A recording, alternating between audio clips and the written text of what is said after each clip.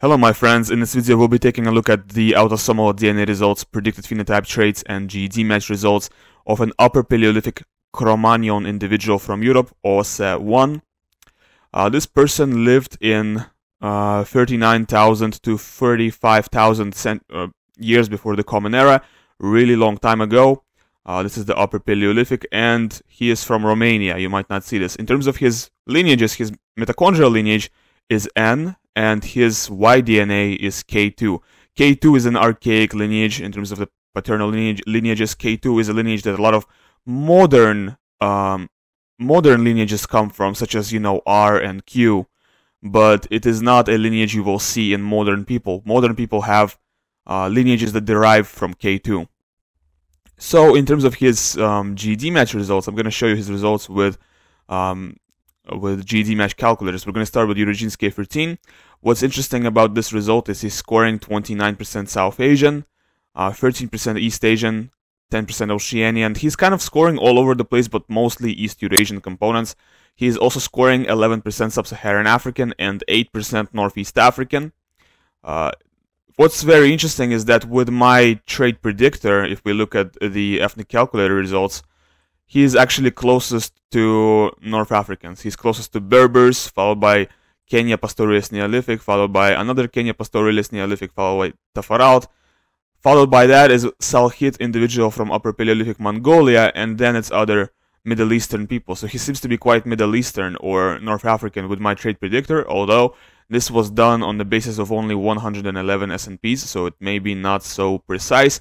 In terms of the haplogroup, the most precise haplogroup that my trait predictor was able to give to him is F. That's the most precise haplogroup that I could determine.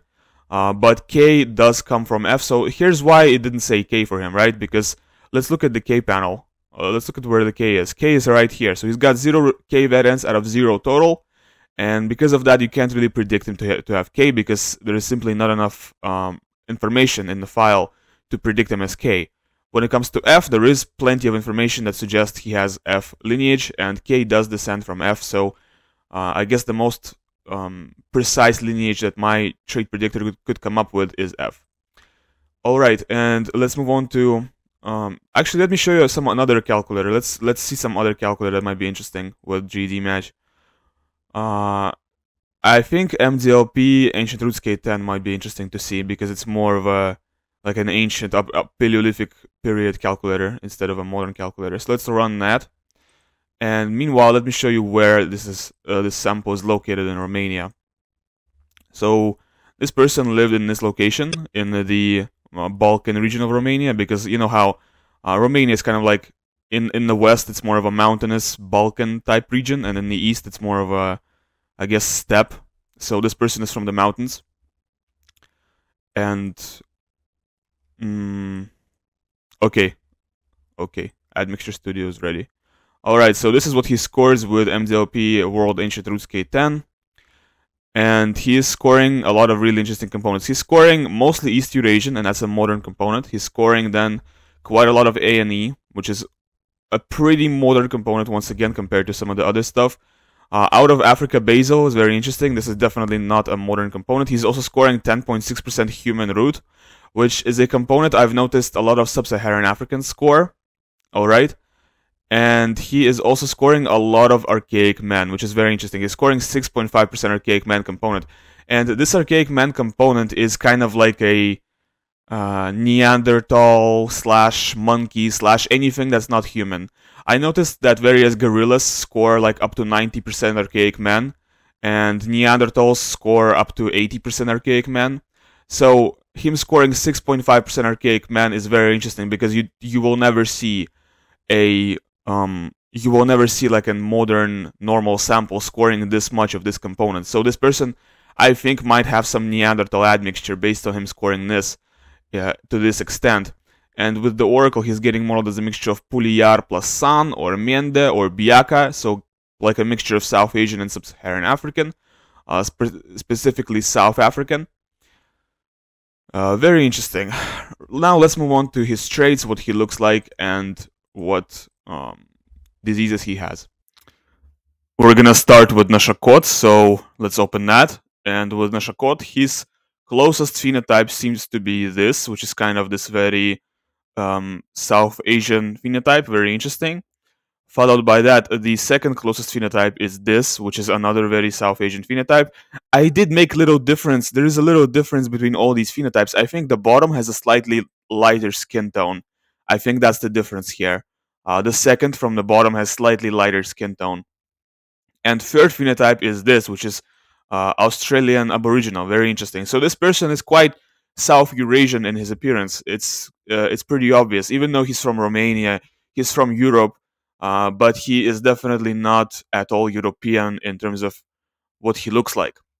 Uh, when it comes to the models, there's actually an oracle here that I added, a phenotype oracle, which sort of models uh, using two phenotypes make a model that's closest to what you might look like. So the closest model is this phenotype plus Australoid. So it's basically Pamirid plus Australoid. Australoid, that's the closest mix to this individual. The second closest mix is Alpinid plus this very, very dark South Indian. The third closest mix is Pamirid once again plus a darker version of Australoid. You can compare the picture on the very left to this picture right here. They have darker skin tone. Also, I think this picture in the middle has a wider nose. So yeah, I, I did make little differences. There's uh, different variations of common phenotypes that are that are included in my um, uh, in my list of phenotypes to choose from, basically for the oracle. So there's some differences. Like some of them have wider noses, some of them have curly hair, whereas the others have straight. Uh, but it's the same phenotype, but one has curly hair and one has straight, right? So that's that's the way I did it. I think it's quite interesting. The fourth closest phenotype is Alpinid plus this really dark version of Australoid, and the fifth closest phenotype is this uh, lighter version of Australoid with narrower nose, plus this version of South Indian. But I mean, it's quite um, it's quite a um, Indian-looking guy. I mean, it's quite an Indian-looking person. Overall, looking at these models and these mixtures, it looks like what an Indian might look like.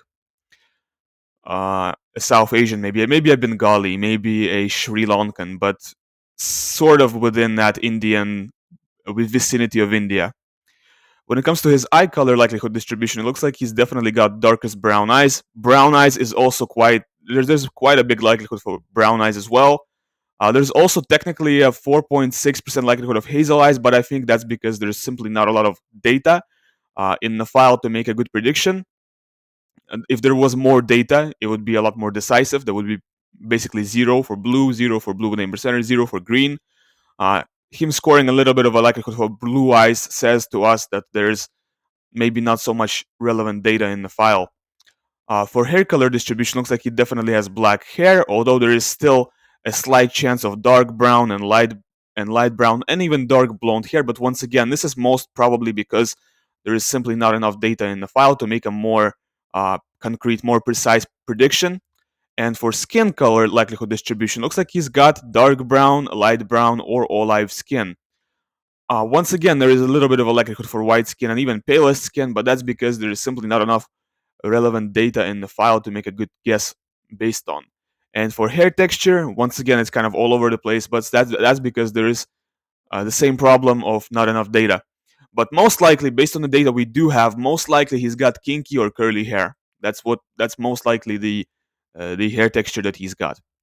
Although he could have straight hair too. Uh, we don't know. There's, as I've said, uh, you would need more data to be able to determine more precisely for coloring related variants, it looks like he's not, he doesn't have any genotypes that are relevant to coloring in HERC2 region, which is very, very unfortunate, besides this one genotype.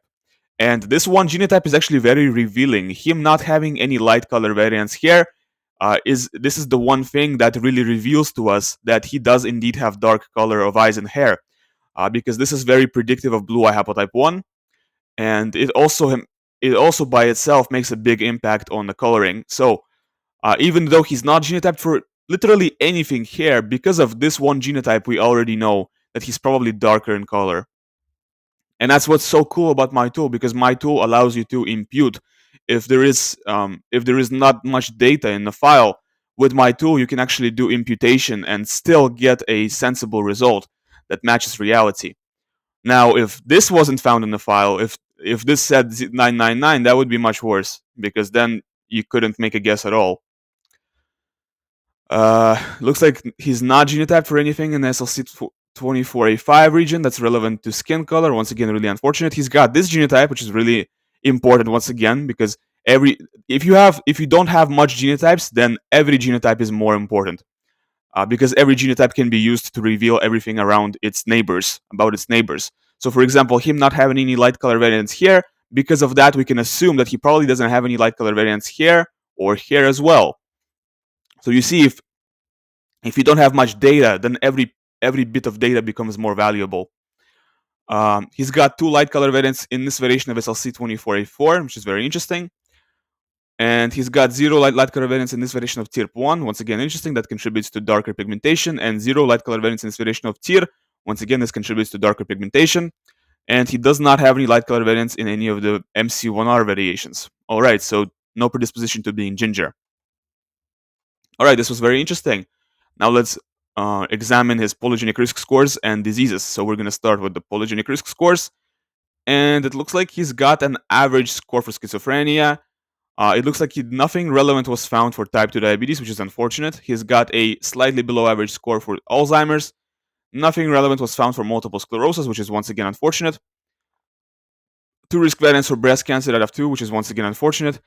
Uh, normally you would see normally you would see out of 24 out of 30, but in this case it's a small file, so here it's out of two.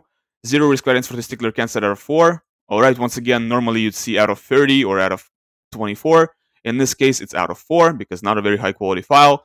Zero risk variance for celiac disease out of 0. Nothing relevant for celiac disease was found. Nothing relevant was found also for GSS. And zero risk variance for Crohn's out of 6, which is really good. Nothing relevant was found for Riefenstein's and zero for Parkinson's out of 2. So it looks like there's pretty much nothing to worry about in this whole genome. Uh, let's see what his um, monogenic traits are. So it looks like he's got a gene this variation of Prophenicin Pro. So a gene Prophenicin Pro, one derived no-go learner variant.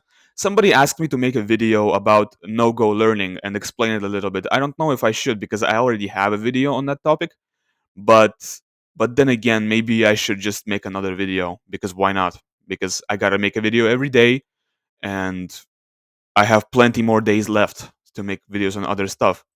So maybe there will be a video on no-go learner learning. I don't know.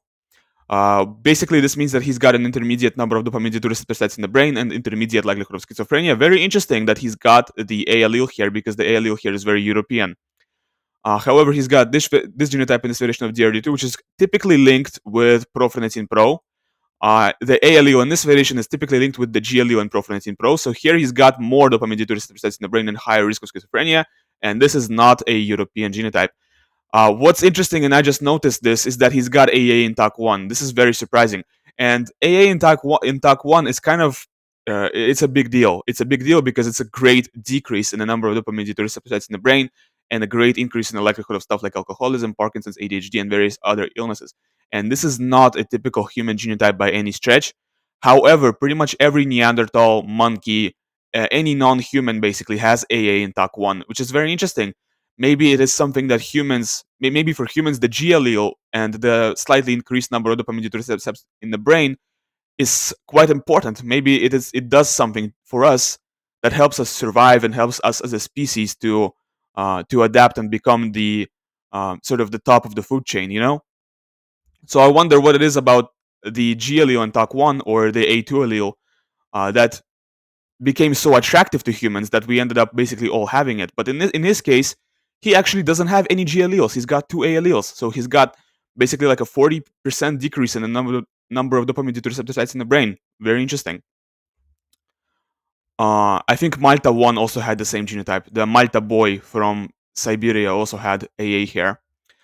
And he's got CC in this variation of HT, HTR2A, which in which uh, corresponds with robustly increased risk of suicidal behavior and depression and increased risk of sexual dysfunction when taking SSRI depressants, antidepressants.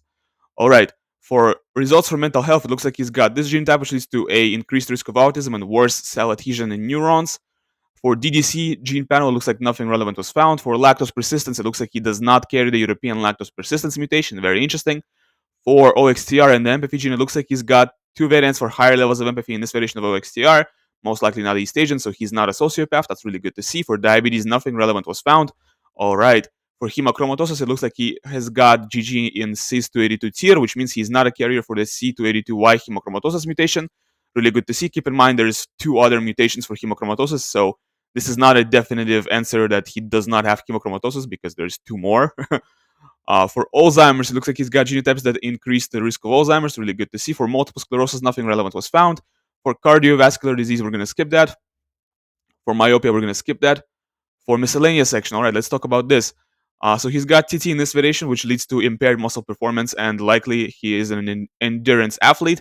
And he also does not have East Asian EDAR. He's got AA genotype in this variation of EDAR, likely no shovel-shaped ancestors and not East Asian in ancestry. So he is not an East Asian in his appearance or ancestry, which is very interesting because he's quite East Eurasian. But he, I guess East Eurasian and East Asian is not the same thing, um, because like people in Australia mostly have AA here as well. People people in South India mostly have AA here as well.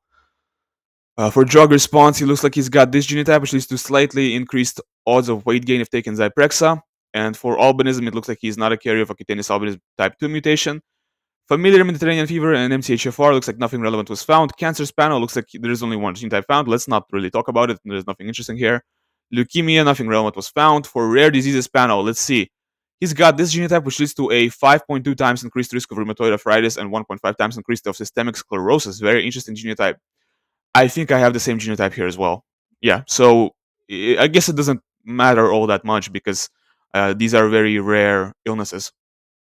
So having like a 5.2 times increased risk of illness that occurs in 0.1% of people, you still have like a 0.5% chance of getting it. So it's it's not very it's not a very big deal, you know.